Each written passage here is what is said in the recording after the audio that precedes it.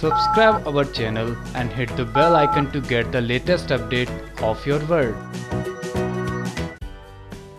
दोस्तों जी की most popular कहानी कुंडली भाग्य की बात कर रहे हैं, जहाँ पर आपको बता दें कि करण की गाड़ी एक बार फिर ट्रैक पर दौड़ा है, क्योंकि करण को आखिरकार हो ही गया है अपनी गलती का एहसास तो इसलिए प्रीता भी अपनी माँ सरला को झूठ बोलकर व्रत रखती है। वहीं पर अब करण की ही प्रीता का व्रत खुलवाने वाला है, जहाँ पर आपने सभी फैंस ने बीते हुए ट्रैक पर देखा होगा कि कैसे ऋषभ करण से बात करता है और कहता है कि भाई, पत्नी पत्नी में कितनी भी अनबन हो, लेकिन फिर भी पत्नी इस व्रत को ज़रूर रखती है। तो दोस्तों, आगे की आने वाली कहानी काफ़ी दिलचस्प होने वाली है, जहाँ पर देखना होगा कि कहीं प्रीता व्रत तो रख रही है करण के नाम का, लेकिन व्रत के बाद कहीं प्रीता बदल ना जाए और अपना बदला पूरा करे। तो दोस्तों कहानी का आपको अलग ही अंदाज देखने को मिलने वाला है। वैसे कुछ भी कहो, हर फैंस की तमन्ना है कि करण और प्रीता एक हो जाए और सरलिन का सच भी बाहर आ जाए।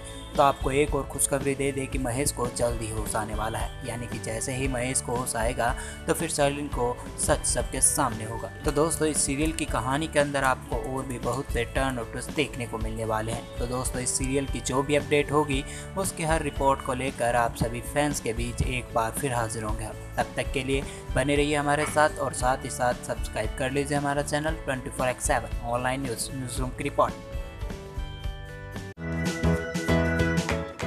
Subscribe our channel and hit the bell icon to get the latest update of your world